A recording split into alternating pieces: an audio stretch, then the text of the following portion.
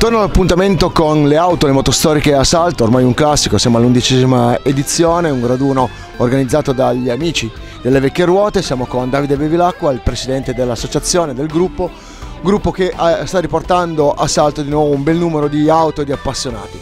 Eh, 2023 quindi che si apre nel segno migliore. Sì, direi di sì, oggi con più di 60 mezzi prenotati e più di 120 persone prenotate per il pranzo.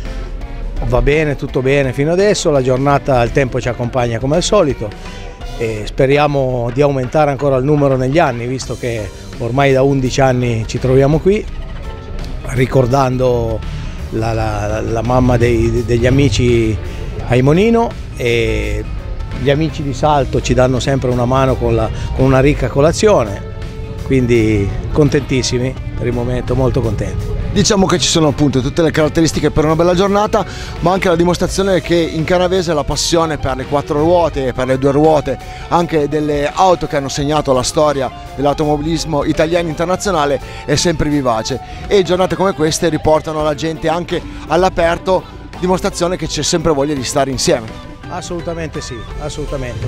Stamattina ricordavamo l'amico Dario Vola che questa è stata una sua idea di fare un raduno d'inverno.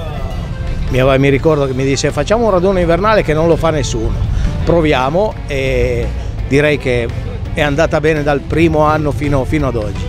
Per quanto riguarda il 2023, quali sono gli appuntamenti eventuali che avete già in calendario o i progetti che l'associazione eh, sta, sta progettando?